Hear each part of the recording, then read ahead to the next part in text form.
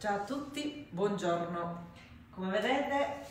questa immagine elo eloquente ci ricorda che eh, i calabresi aspettano le dimissioni del presidente della regione Calabria Oliverio da ben 24 giorni. Allora, io con voi voglio fare un break da questa giornata per una riflessione in condivisione. Vedete, eh, in Calabria, come sapete, eh, non funziona quasi nulla, è una regione disastrata per, per tante motivazioni. Eh, sicuramente le influenze della criminalità organizzata, delle mafie, eh, hanno influito molto sulla ehm, assoluta povertà della regione Calabria perché l'andrangheta ha deciso che la Calabria deve rimanere povera, cabina di regia, dove soltanto pochissimi si arricchiscono a discapito di tutta la comunità.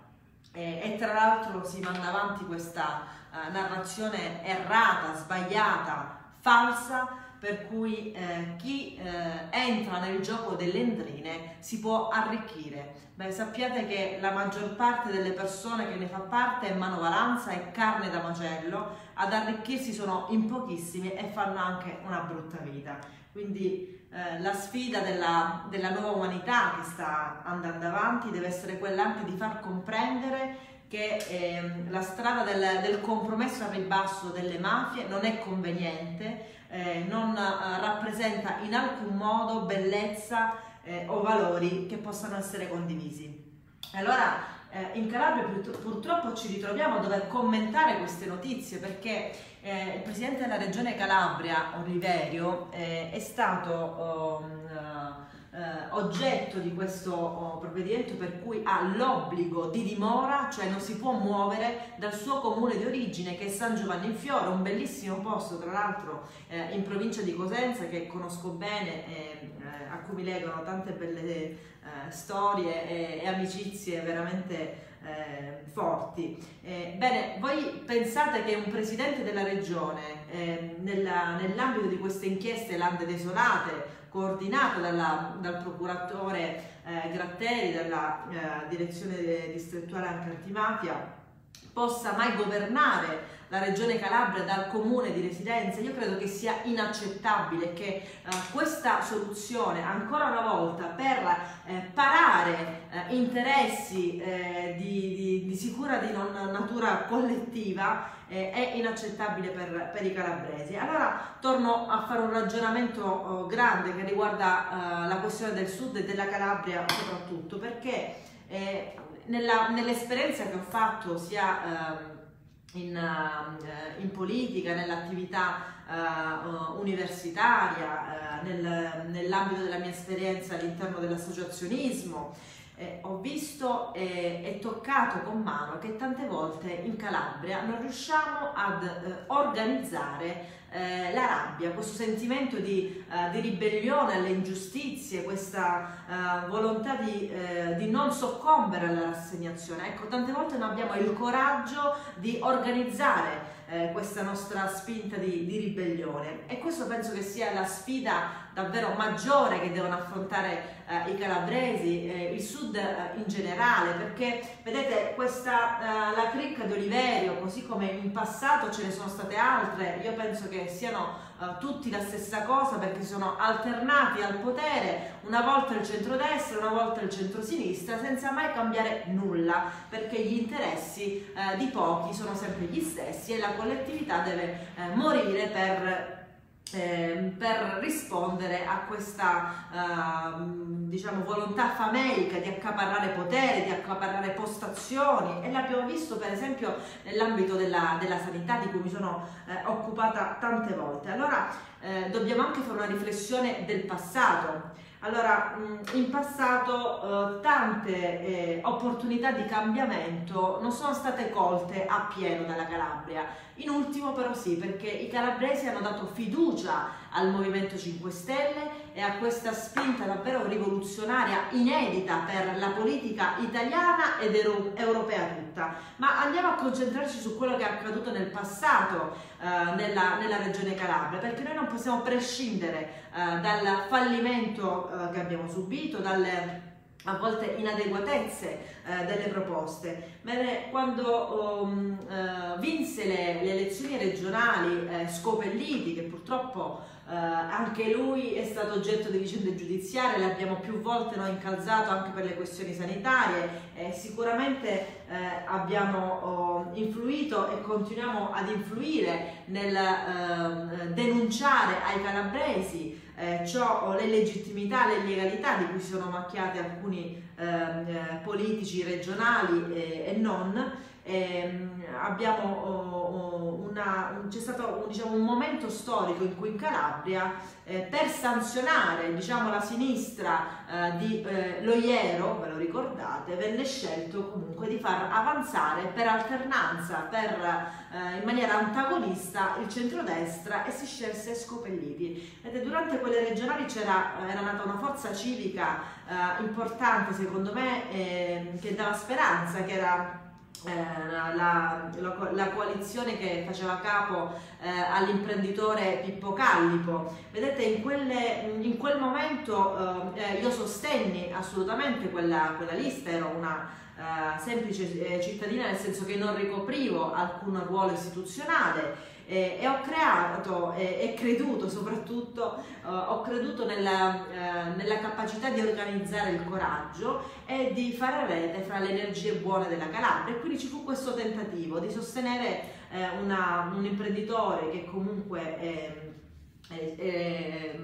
rimane diciamo, di, di, successo e anche di, di, testimonianza per tante vicende e eh, si sostenne Callipo ma non tanto abbastanza da vincere contro eh, la grande accozzaglia di partiti e di persone e di lobby che decise poi di sostenere Scopelliti. E abbiamo visto che fine ha fatto adesso è, è in carcere per altre vicende eh, giudiziarie Bene, oggi ci ritroviamo eh, a, ad avere Presidente Oliverio, ma eh, nel 2014 io ricordo che il Movimento 5 Stelle ha tentato eh, la strada di una lista eh, regionale. E a 2014 venivamo dal grande successo eh, che il Movimento 5 Stelle aveva avuto nelle politiche del 2013, che portò per la prima volta persone ehm, non legate alla vecchia politica, giovani, eh, che eh, col casellario giudiziario pulito,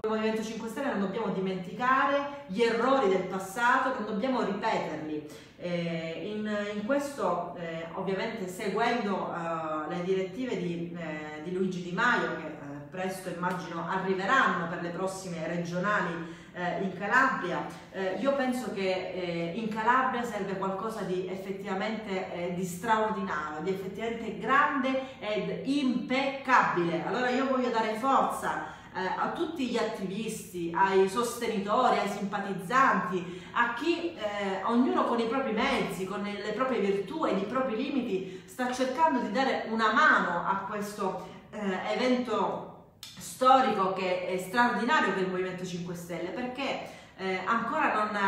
non, ci si crede, ma il Movimento 5 Stelle davvero riesce, riesce, ad avanzare e a sostenersi sulle gambe delle persone che portano avanti quei valori, perché guardate, Eh, sicuramente noi dobbiamo aspettare eh, delle direttive, delle macro direttive politiche che arriveranno dal Movimento 5 Stelle nazionale, che oggi è capeggiato eh, da Luigi Di Maio, ma per il resto, eh, miei cari concittadini eh, calabresi, non c'è da aspettare eh, la, la, parola di me, della Nesci, di Di Maio o di chiunque altro. Qui c'è davvero da mettersi eh, in prima persona, in primo piano e dare un contributo e poi decidere se effettivamente eh, stare nel Movimento 5 Stelle attraverso una candidatura che deve essere frutto davvero di un convincimento perché eh, il, eh, non, è, non, è, detto che alle regionali riusciamo eh, ad avere st- lo stesso successo, la stessa forza del Movimento 5 Stelle a livello nazionale. Noi in Calabria, ripeto, dobbiamo essere ancora più grandi, straordinari, impeccabili, perché ci sono di- dinamiche complesse eh, per cui in Calabria poi si tende a votare eh, per il vincente, cioè per colui o per, eh, per chi risulta eh, vincente, in quanto le dinamiche delle mafie, della criminalità organizzata, della, eh, della pressione culturale, del compromesso eh, che c'è in tutta Italia, ma in Calabria la cappa culturale si fa sentire tantissimo, eh, non c'è davvero eh, la libertà di fare eh, impresa legalmente, chi la fa la fa con tanta fatica e ogni giorno deve ricordarsi perché fa quei sacrifici. Io su tutti eh, eh, prendo sempre come simbolo eh, l'imprenditore della eh, Piana di Gioia Tauro, eh, Antonino eh, De Masi, da poco oh, ci ha lasciato Ruello, a Vibo Valenze, sono um, poche ma fortissime le testimonianze di imprenditori ma anche di persone ricordo con tanto affetto eh, con Giusta e la sua famiglia, che si ribellano ad dinamiche mafiose e lo fanno, pensate, per una cosa che sembra semplice, che sembra banale, per la forza delle idee, perché credono in qualcosa di grande, in qualcosa di forte che può spingere poi attraverso le azioni a modificare la realtà circostante. Allora io voglio dare eh, forza eh, a chi crede nella rivoluzione culturale, attraverso le idee, attraverso il pensiero, attraverso la, la parola guerriera che poi si fa azione per condividere, per organizzare. Allora voglio lasciarvi con eh, eh, ricordarvi eh, purtroppo che siamo in queste condizioni, se ti puoi avvicinare mostriamo che eh, i calabresi attendono le dimissioni del presidente Oliverio da ben 24 giorni. Eh, ha scelto questa immagine della Calabria in gabbia, una Calabria che è ostaggio di queste dinamiche ormai fallimentari, vecchie, eh, dove un presidente di regione che ha fallito in tutto e non ha fallito solo lui, ha fallito lui e tutta la cerchia di persone attorno e tutto il consiglio regionale, perché io ricordo che non c'è mai stata opposizione reale a Oliverio in nessuna delle vicende in cui noi abbiamo, eh, siamo intervenuti. Eh, su tutti parlo della, della, sanità perché è una tematica che ho seguito con, eh, con coerenza, con migliaia di denunce eh, alla Procura della Repubblica e non è possibile che in Calabria la svolta ci sia soltanto in ambito giudiziario per il quale eh, voglio ringraziare ovviamente eh, Nicola Gratteri, tutti eh, i magistrati, il PM che stanno dando oh, prova eh, di, ehm, eh, di mm, far avanzare la legalità e la giustizia, ma per la giustizia sociale serve la politica, una politica nuova, quindi un cambiamento è necessario e eh, la prima cosa da fare è che questo Presidente di Regione per dignità personale, che a questo punto non spetta a me giudicare, ma per davvero dare una, uno sguardo di speranza eh, ai calabresi perché la situazione è diventata imbarazzante. Quindi io vi propongo eh, di condividere eh, questa immagine che sto pubblicando sia sulla mia pagina ehm, pubblica ufficiale che sul mio profilo privato, di scaricare questa eh, immagine come me e condividerla su Facebook come sto per fare io. Quindi condividiamo.